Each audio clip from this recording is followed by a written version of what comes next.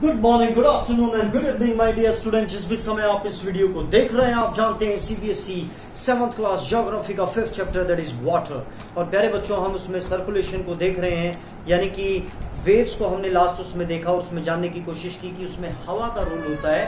और अब हम देखेंगे टाइड्स प्यारे बच्चों टाइड्स जो है मोरलेस हम कई बार वेव और टाइड को सेम ही समझ लेते हैं, लेकिन टाइड का जो फंडामेंटल है, वो बिल्कुल ही टोटली डिफरेंट होता है। टाइड जो है, वो दिन में दो बार हाई होती है आ, मतलब पूरे दिन की अगर हम बात करें और लो होती है राइट अब ये हाई और लो का क्या पंगा है ये किस तरीके से होती है? और देखो कहीं ना कहीं जो हमने वेव्स पड़ी थी उसमें पानी एक ही जगह पे अपनी मूवमेंट कर रहा है राइट लेकिन जब हम टाइड्स की बात कर रहे हैं तो पूरा का पूरा जो जल है यानी कि जो समुद्र है वो कहीं ना कहीं उठ रहा है है ना? वो हाई हो रहा है हाई हो रहा है है ना? और एक जगह पे वो लो हो रहा है यानी कि हाई हो रहा है और लो हो रहा है यानी कि पूरा का पूरा पानी पूरा का पूरा पानी, ना कि वेव ठीक है? तो this is the difference basic difference जो वेव है वो हवा से बनती है क्रिएट होती है, वो ऐसे ऐसे रहती है अल्टरनेटिवली लेकिन जो हाई टाइड और लो टाइड है हाई टाइड मतलब जब पानी जो है वो ऊपर की तरफ़ उठ जाता है, और लो टाइड यानी जब पानी नीचे की तरफ़ आ जाता है। ठीक है? तो ये एक बेसिक आपको थोड़ी सी इन्फॉर्मेशन देनी थी मुझे टाइड्स के बारे में। तो अब टाइड बेसिकली क्या है? आपको ये तो समझ में आ गया कि ये तो हाई टाइड है या लो टाइड है। किस कारण से ये होती है? प्यारे बच्चों, जैसे हमारी ग्रेविटेशनल पावर है अर्थ की, है ना? तो हम कोई भी चीज़ ऊपर से छोड़ते हैं तो कहा जाती है? नीचे की तरफ़ जाती है राइट तो ऐसी जो हमारा सन है है ना, जो पूरा सोलर सिस्टम को कहीं ना कहीं उसने अपनी एक ग्रेविटेशनल पुल के कारण पकड़ा हुआ है, ऐसी जो मून है, उसकी भी एक ग्रेविटेशनल पुल वो वो भी एक ग्रेविटेशनल पुल यानी खिंचाव एक वो बनाता है। अब प्यारे बच्चों, पूरा का पूरा खेल इसमें सन और मून का है, जो हमारे जो हाई टाइड होती है, उनकी ग्रेविटेशनल पुल जो फोर्स है, उसका कहीं ना कहीं ये पूरा रीजन है। प्यारे बच्चों, आप देखोगे, मान लो ये अर्थ है राइट और अगर मून इस समय यहाँ पर है तो मून जो है ग्रेविटेशनल पुल करेगा राइट तो क्या होगा, जो लैंड वाला एरिया वो तो नहीं उठ के चला जाएगा, क्योंकि दैट इज़ सॉलिड लेकिन वाटर जो है वो थोड़ा लिक्विड है। तो जो वाटर का लेवल जो अभी ऐसे चल रहा था वाटर का लेवल थोड़ा सा बल्ज हो जाएगा ऐसे क्योंकि मून इधर है और मून की ग्रेविटेशनल पुल है ना, वो उससे खींच रहा है। तो पानी का लेवल यहाँ पे ऊँचा हो जाएगा तो इसको हम क्या बोलते हैं? हाई टाइड राइट और अगर यहाँ पर है तो इधर यहाँ पर कम होगा। तो यहाँ पर थोड़ा सा जो है वो लेवल इतना का इतना ही रहेगा। तो इसको क्या बोलेंगे? दिस इज़ लो टाइड और ये क्या है? दिस इज़ हाई टाइड क्योंकि मून जो है वो अर्थ के काफ़ी नज़दीक है तो हमारा डेली हम देखते हैं कि मून घूमता है हमारे चारों तरफ़ तो वो हाई और लो हाई और लो कहीं ना कहीं बनाता है। तो आप अगर देखेंगे, मून अगर अभी इधर है तो ये वाला जो पानी है, थोड़ा सा उठा हुआ होगा राइट और यानी कि यहाँ पर क्या होगी? लो टाइड होगी, और इधर क्या होगी? हाई टाइड तो इधर अगर मून होगा तो इधर हाई टाइड हो जाएगी और इधर लो टाइड हो जाएगी। आई होप इतना आपको समझ में आ जाएगा लेकिन ये तो हो गया एक बेसिक चीज़ जो मून की वजह से हो रही है। अब जैसे मैंने बताया कि ये जो बनती हैं टाइड्स हाई और लो ये because of sun and moon बनती है। आपको पता है न्यू मून जो होता है या जो हमारा आ, फुल मून जो आ, नाइट होती है अमावस्या पूर्ण पूर्णमासी उस दौरान जो हमारा अर्थ है हमारा मून है और हमारा सन है। ये सन है मान लो this is moon and this is earth ये एक ही लाइन में होती है। ठीक है? तो ऐसी अब ये घूम के इधर आ जाएगी। यहाँ से हट जाएगा मून इधर आ जाएगा तो भी एक लाइन है फुल मून और न्यू मून दोनों में हम जैसा देख रहे हैं। जब आप अपनी बुक में भी देखोगे, प्यारे बच्चों, और ये वाली जो सिचुएशन होती है, यानी कि दोनों तरफ़ से जो है पुल हो रहा है तो कहीं ना कहीं जो आपका वाटर वाला एरिया है वो यहाँ से ऐसे बल्ज हो जाएगा और यहाँ से ऐसे बल्ज हो जाएगा। तो यानी कि ज़्यादा हाई टाइड हो जाएँगे, ठीक है, दोनों तरफ़। तो ये जो ज़्यादा हाई टाइड है, इसको बोलते हैं स्प्रिंग टाइड्स जब एक ही लाइन में सूरज, चंदा और पृथ्वी हो जाती है राइट तो आप देख रहे हैं, प्यारे बच्चों, क्योंकि मून जो है वो घूमता रहता है तो इसको स्प्रिंग टाइड बोलते हैं, यानी कि यहाँ पर यहाँ है मून और अब मून जो है यहाँ पर है। तो लेकिन है तो एक ही लाइन में ना? तो इस दौरान क्या होता है कि बहुत ज़्यादा पुल होता है तो एक बल्ज बन जाता है, और इस केस में दोनों तरफ़ एक बल्ज बन जाता है, पानी को खींचती है दोनों तरफ़। तो इसको क्या बोलते हैं? स्प्रिंग टाइड अब इसका बिल्कुल अगर हम थोड़ा सा इसको घुमा दें, यानी कि जब चाँद जो है वो एक तरफ़ हो और सूरज जो है वो एक तरफ़ हो राइट तो यानी कि दोनों के दोनों कहीं ना कहीं ग्रेविटेशनल फोर्स एग्जर्ट कर रहे हैं, खींच रहे हैं पुल कर रहे हैं। तो अब क्या होगा, मान लो मैं हूँ या जैसे हमने एटमोस्फेरिक एयर में हमने जैसे पढ़ा था, हमारे ऊपर अभी बहुत ज़्यादा एयर का प्रेशर है।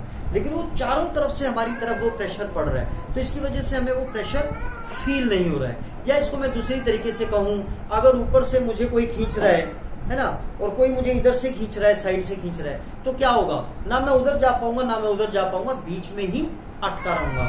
तो यानी कहीं ना कहीं डायगोनली उसकी जो पावर है, वो कहीं ना कहीं उसको खींच नहीं पा रही है है ना, पानी को। तो जिसकी वजह से वो लो टाइड रहते हैं। यानी कि जब सूरज, चाँद और पृथ्वी एक ही लाइन में आ जाती तो तो बहुत ज़्यादा हाई टाइड बनती, जिसके कारण होता है, जिसको हम बोलते हैं स्प्रिंग टाइड और जब जो चाँद है जब वो सूरज के इधर ना रहकर इधर हो जाता है, या इधर हो जाता है तो उसमें क्या होगा? ये इधर से खींच रहा है, ये इधर से खींच रहा है। तो ये ना इधर जा पा रहा है, ना ये इधर जा पा रहा है। तो ये लो टाइड होती है। ठीक है? आई होप कि आपको शायद मैं समझाने में कामयाब हूँ, प्यारे बच्चों, कि फिर भी आपको कोई डाउट है तो आप मुझसे फिर दोबारा पूछें ठीक है? तो नीप टाइड्स और स्प्रिंग टाइड्स है ना? एक हमने पहले देखा था कि चाँद जो चाँद है, वो किस तरीके से इन्फ्लुएंस करता है। जब उधर को निकल रहा है तो वहाँ पे खींच रहा है, इधर आ रहा है तो इधर राइट फिर हमने देखा जब एक ही लाइन में हो जाते हैं तो बहुत ही हाई टाइड हो जाती है, क्योंकि उसको दोनों तरफ़ से पुल मिल रहा है ग्रेविटेशन पुल मिल रहा है तो जिसकी वजह से हाई बल्ज बन जाता है, उसको हम स्प्रिंग बोलते हैं। और जब डायगनली जब वो उल्टा हो जाता है, यानी कि सूरज इधर है और वो इधर है और पृथ्वी बीच में है, तब हम इस केस में क्या करते हैं? ये लो टाइड होता है, ठीक है? ये जो हाई टाइड और लो टाइड है, इसके फ़ायदे क्या होते हैं? अब हम इसको भी एक बार इसमें देखते हैं, फिर हम आपकी बुक को देखेंगे कि आपकी बुक क्या कहती है। अब प्यारे बच्चों, क्या होता है कि जब टाइड्स है ना हाई टाइड जब भी हाई टाइड होगी तो वो नेविगेशन में मदद करती है। नेविगेशन पानी में आपको पता है नेविगेशन अब कैसे मदद करती है? वो आई होप कि आपको समझ में आ गया होगा। मान लो कि अभी यहाँ पर हाई टाइड है है ना? तो यहाँ पर हम क्या करते हैं? एक डैम के थ्रू या किसी के थ्रू हम यहाँ पे पानी को ब्रेक कर देते हैं और यहाँ पे क्या है? लो है पानी। ठीक है? यहाँ पर पानी, यहाँ पर हाई है और यहाँ पर लो टाइड है। ठीक है? अब क्या है कि जहाज़ जो है, जो शिप्स होती हैं शिप्स जो होती हैं, एक तो नेविगेशन में हेल्प करता हूँ शिप्स को अपने हार्बर तक, मान लो यहाँ पर हार्बर है, ये कोस्टल एरिया है और यहाँ पर हमारा कोची हार्बर है, मान लो कोची पोर्ट है या मुंबई पोर्ट है। तो होगा क्या, यहाँ से पहली बात तो पहली बात तो क्या होता है प्यारे बच्चों, जो हाई टाइड होती है, वो नेविगेशन में मदद करती है, यानी कि उसकी स्पीड को थोड़ी सी बढ़ा देती है, वो हेल्प करती है ना, जो भी जहाज़ चल रहा है उसमें। तो यहाँ तक पहुँच गए, यहाँ पानी को रोक रखा है यहाँ पे लो टाइड है। तो जब उनको इस जहाज़ को यहाँ पहुंचाना है तो क्या करेंगे? यहाँ से रास्ता खोल देंगे। तो क्या होगा? जहाज़ जो अपने आप ही इस फ्लो में यहाँ तक पहुँच जाएगा लो टाइड से। ठीक है? तो एक तो नेविगेशन में हेल्प करता है आपका ये। दूसरा किस चीज़ में हेल्प करता है कि टू रीच शिप्स को रीच करने में हार्बर तक भी ये हाई टाइड जो है काफ़ी हेल्पफुल होती है। दूसरी चीज़ क्या है? हाई टाइड और कैसे हेल्प करती है प्यारे बच्चों? आपको पता है हाई टाइड यानी पानी का लेवल ऊपर हो जाना। यानी कि शाम को अगर इधर था और सुबह अगर वो ऊपर हो गया तो मछलियाँ भी जो है वो पानी के लेवल के साथ अपना ऊपर तक आती हैं। तो जो फिशिंग करने वाले लोग होते हैं, जो मछुआरे होते हैं, उनके लिए हाई टाइड वाला जो एरिया होता है, वहाँ पर जब वो फिशिंग करते हैं तो उनको बहुत ज़्यादा मात्रा में फिशिंग कैच करने का मौका मिलता है, यानी कि उनको काफ़ी वो पकड़ लेते हैं और उनका अपना जो भी उनका बिज़नेस उनको करना है, वो फुल फलता फूलता है। और चौथा क्या है, इसी हाई और लो टाइड की उससे। जब पानी का लेवल हाई है या लो है है ना तो शाम को फिर दोबारा वो चेंज होता है, सुबह फिर दोबारा चेंज होता है। तो उसके कारण बीच में यहाँ पर एक फ़ैन लगा दिया जाता है है ना। वो जो हाई और लो टाइड के कारण ये फ़ैन जो है वो घूमता है, जिसके कारण इलेक्ट्रिसिटी जनरेट होती है। इलेक्ट्रिसिटी जनरेट होती है ना? तो इलेक्ट्रिसिटी को generate fishing electricity generate navigation help ships to arrive in the harbour है ना? यानी कि उनके पोर्ट तक। अब हम देखते हैं आपकी बुक क्या कहती है, प्यारे बच्चों।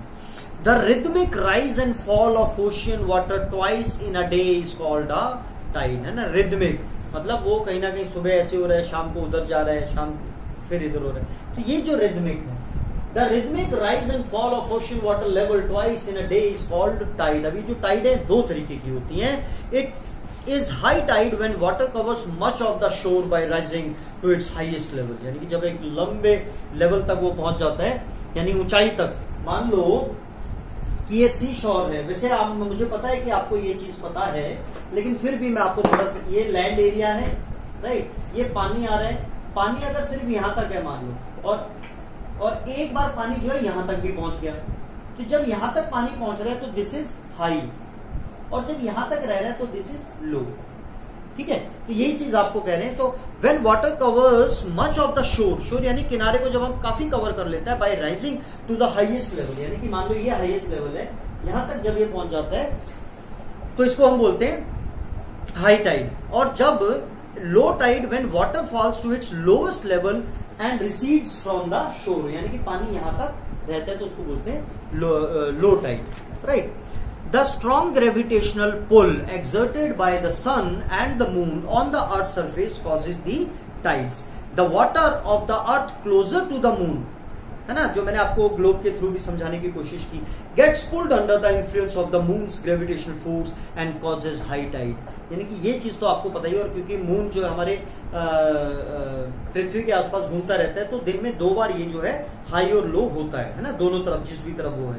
During the full moon and new moon days the sun the moon and the earth are in the same line and the tides are highest समझ में आ गया क्यों होती है highest these tides are called spring tides उनको क्या नाम दिया गया spring tides but when the moon is in its first and last quarter यानी कि पहले और आखिरी क्वार्टर में जो मैंने बताया था कि यहाँ पर सन है, यहाँ पर अर्थ है और यहाँ या फिर यहाँ जब मून है opposite direction by the gravitation pull of sun but when the moon is in its first and the last quarter the ocean water gets drawn in diagonally opposite direction by the gravitation pull of sun and earth resulting in low tides. These tides are called neap tides. अब हम ये आपको समझ में आ गया नीप Tide क्या होता है स्प्रिंग टाइड क्या होता है मून का क्या वो रूल है high tides help in navigation they raise the water level close to the shores this helps the ships to arrive at the harbor more easily. The high tides also help in fishing. Many more fish come closer to the shore during the high tide है ना? जब high Tide होगा तो मछलियाँ जो है वहाँ तक भी पहुँच जाएँगी। उनको नहीं पता है कि यहाँ पर इंसान है जो उनको पकड़ने के लिए। This enables fisherman to get a plentiful catch यानी कि बहुत ज़्यादा मात्रा में वो पकड़ लेते हैं मछलियों को।